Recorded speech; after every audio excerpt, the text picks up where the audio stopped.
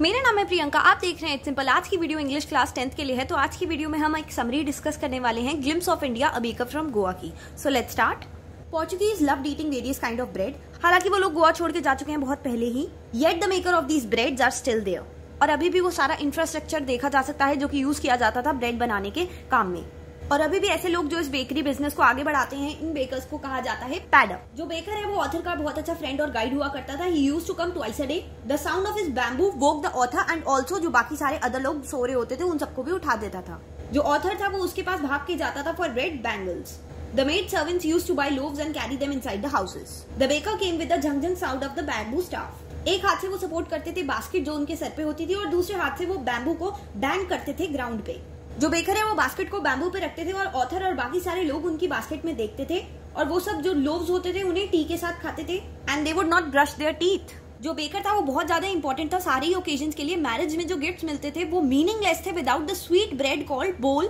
sandwiches cakes और बोलिनहास भी बनते थे इन्हीं ब्रेड से। जो बेकर है, जो ब्रेड को बेचते हैं, उनकी एक पर्टिकुलर ड्रेस होती थी पहनने की और उसको कहा जाता था कबाई। वो एक single piece of long frock थी और वो रीच डाउन करती थी to the knees it is similar to half pant of today baker जो था, वो अपना bill end of the month में कलेक्ट करता था। पहले के टाइम पे बेकिंग बहुत ज़्यादा एक प्रॉफिटेबल प्रोफेशन हुआ करता था। और क्योंकि वो बहुत ज़्यादा प्रॉफिटेबल प्रोफेशन था, इसलिए बेकर और उनकी फैमिली कभी भी भूखे नहीं रहते थे, उन्हें अच्छी खासी कमाई होती थी।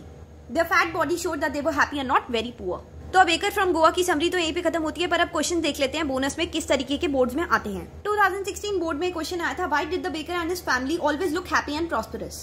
तो इसका जवाब आपको जिस तरीके से लिख सकते हैं, क्योंकि they had a plump physique It was a testimony to their being happy and the profession of a baker in Goa had been indeed a profitable business या फिर profitable profession. 2017 में आया था what do we learn about the financial condition of the bakers of Goa इसमें भी तुम लिख सकते हो यही कि उनकी फाइनेंशियल कंडीशन बहुत अच्छी है उनकी प्लम फिजिक है और तब उनके लिए प्रोफेशन बहुत ज़्यादा ही प्रॉफिटेबल हुआ करता था। 2011 में भी आया था ये question what would the baker do immediately after reaching a house तो इसका आंसर कुछ इस तरीके से होगा कि बेकर जो है वो घर की लेडी को ग्रीट करते थे गुड मॉर्निंग कह के and he would place his basket on the vertical bamboo and he would then push aside with a mild review the kids who peep into his basket okay okay, और questions के marks के accordingly तुम इसमें और add on कर सकते हो अगर तुम्हें लगता है कि इन तीनों क्वेश्चंस का आंसर कुछ और अच्छे तरीके से दिया जा सकता है तो उसे कमेंट्स में मेंशन कर देना ताकि बाकी बच्चों की भी हेल्प हो सके। Okay so that's it for this video